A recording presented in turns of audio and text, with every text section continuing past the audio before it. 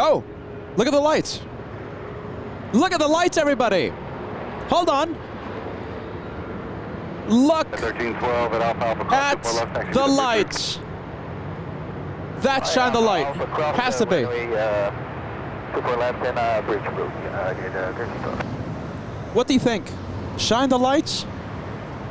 Give me a yes, give me a no. What do you think? I've never seen an A380 do that on uh, final. Never.